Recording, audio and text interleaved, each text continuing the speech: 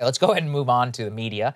Uh, I think we just spent like half an hour dissecting all of that, which is kind of what you need. You need to go into all of the nuance and the detail and listen to the speech. And over on cable news, uh, you're not hearing any of that. You're hearing a constant drumbeat for war. Perhaps the single most insane piece that we want to draw is that an argument over on MSNBC's Meet the Press from Yamiche Alcindor that the U.S. should prepare to go to war for oil. This is not a joke. It feels like it's 2002 again. Let's take a listen.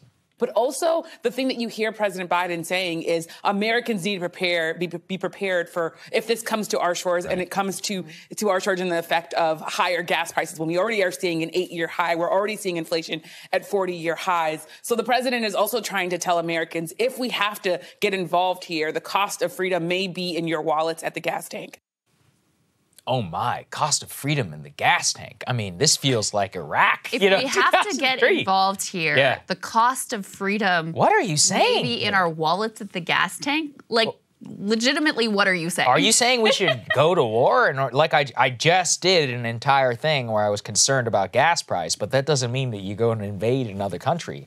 I think the bigger problem is that this is the type of analysis which people are getting bombarded with. You know, I was looking Andrea Mitchell, who of course is like I don't know, basically an ambassador for NATO, um, over on her program. She quoted, you know, two officials being like, "This is an invasion." Former Ambassador McFaul say that what happened today today is an invasion. You can't come into a country uninvited. Is the White House listening?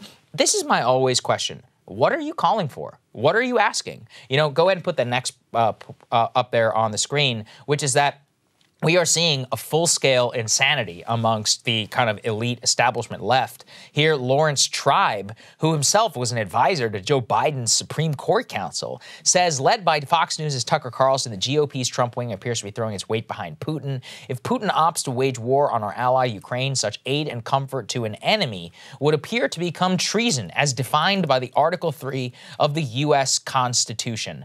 This is just one of those things where That's this language is dangerous by that standard. And I'm not saying I even agree with all of Tucker's coverage on Ukraine, but you know, tonally, I would say there's probably some similarity between some of the things we've been saying here. Would that qualify us as treason? Like yes. this is not yes, the Alien and Sedition Acts of whatever, nine, you know, 1793, and that's essentially the spirit under which Mr. Tribe is go ahead and pushing for. So, as much as we can condemn Putin, as we did in our coverage, as much as we can show you the nuance and say, look, if he had done this, he probably would have had more legitimacy, and we can critique the U.S. position. These people are crazy, and we see this over and over again. I don't think we have it cut, but you know, we were looking at CNN's Jim Sciutto, who is the head national security reporter for CNN, who is based right now in Kiev, and saying things like, "Is this it?" sneering at the White House position. I see Jake. Tapper and other people at CNN constantly retweeting things calling for extremely harsh sanctions against the Russians. Now, look,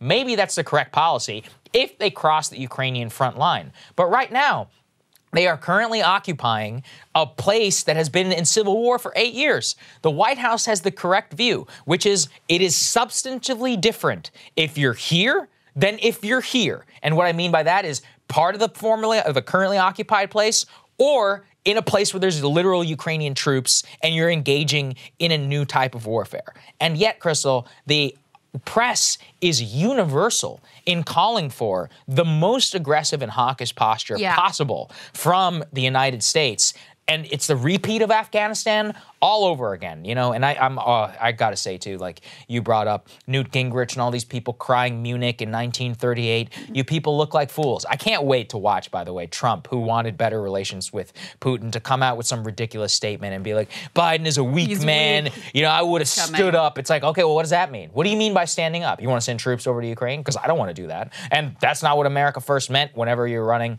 in 2016, the culture warification I'm watching over on the GOP side is just disgusting to behold. Same thing that happened under Afghanistan. Yeah, there's a lot to say here. I have the yeah. Newt Gingrich quote just to show you that there's truly bipartisan insanity. Right. dangerous insanity around this. He says the Biden administration talks and Putin acts. This is such a clear replay of Chamberlain trying to deal with Hitler that it is more than a little frightening. Putin is pushing day by day and has no fear of NATO because he has no fear of the United States or his president. What, so what are you talking about? Exactly. And okay, okay, so what what do you Yeah. want? And Okay, so you want war. And Okay. the most important question is, and then what? Yeah, exactly. And then what? Um, I think Russiagate has obviously the mass hysteria of Russiagate over four plus years has led to this total hysteria um, that prohibits the a significant chunk of the public from being able to analyze this in anything approaching an objective manner. And so what we've seen since Russia's so-called peacekeeping uh, operation into the eastern separatist um, areas, which is not acceptable or okay in any way. But there's an immediate reaching for the most inflammatory rhetoric Yep. about what this represents. And that puts a lot of pressure on the Biden administration because Immense pressure. they're out there trying to say, listen, this is different than a wholesale invasion of Ukraine. This is not the same. Russian troops have been in this area for a long time. So we're going to react, but we're going to do it in a way that is commensurate with what they have done um, so far. And because you have such media, consistent media pressure, wanting them to call it an invasion, wanting to levy more aggressive sanctions, wanting to take this like, extremely hawkish sort of stance towards the situation, you know, that makes it difficult for the administration to hold the more reasonable line that they have at this point.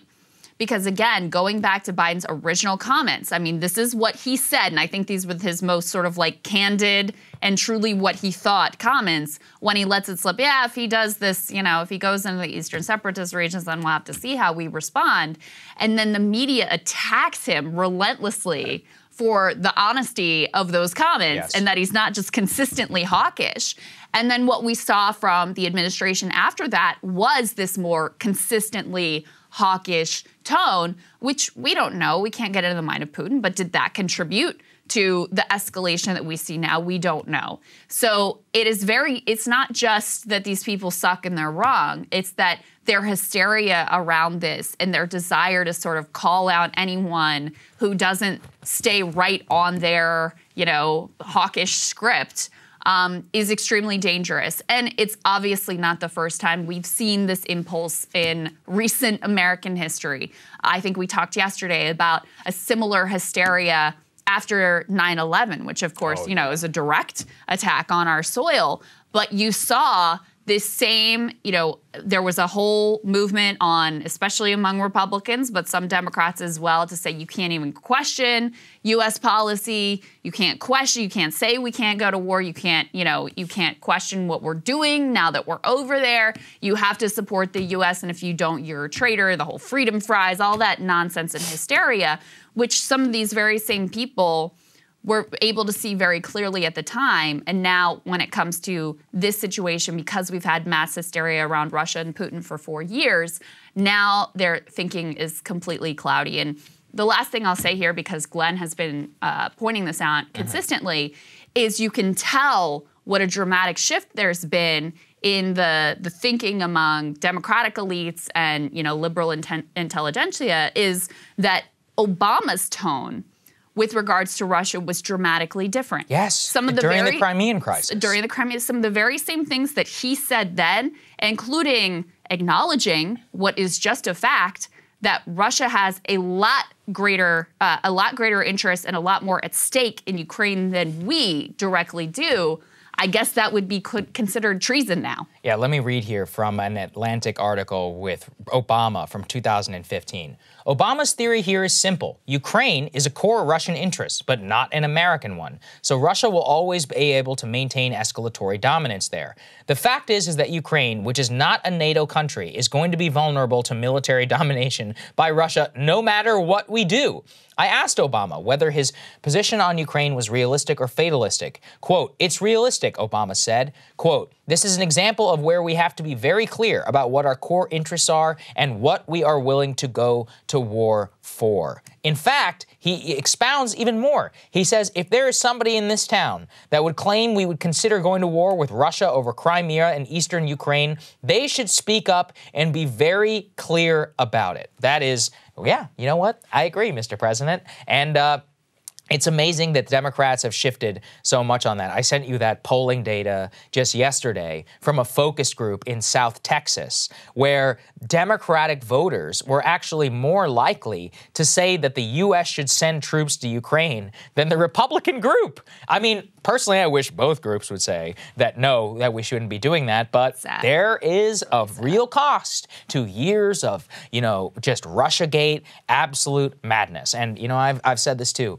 My great fear is that we will be distracted once again by the problems of the old world while we continue to see a reshaping of the entire global order. I mean, the interests of the United States do not lay in the long term on the European continent. They lay in Asia. And yet we continue to just be distracted by these internecine, ridiculous conflicts dating back to the 16 and 1700s. They're not the powerhouse they once were. You know that Russia's economy is the size of Spain? Spain! Okay? The Italians are beating them. Like, I, that takes skill in order to lose to them economically if you look at the grand scheme of history. And yet, we are continue to just be f- so focused on them be, simply because they're closer and we have more historical ties. We're missing the forest of the completely for war. the tree. It's yeah, culture war culture too. war. I mean, listen, drives me crazy. Russia is a proud nation, and they feel like the the justifiable part, the like part that you can understand, is they just feel like they've been humiliated. yeah, and I mean, they have from their it- perspective. I get it. over and over again. Yeah.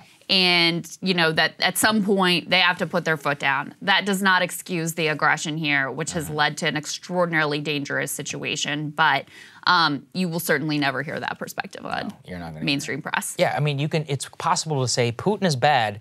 He has a, a good, a, a fine point, or he has, you know, a point whenever it comes to this particular angle. But now apparently we got to go war. Because when you uh, just for- treat someone as a caricature Yeah, and you right. don't try to say, okay, well, here's a little bit of where they're coming from and a little bit of where maybe we can see their point, then you end up with hysterical overreactions. Because how else do you deal with like an unmoored madman who's Right. just like acting in insane ways?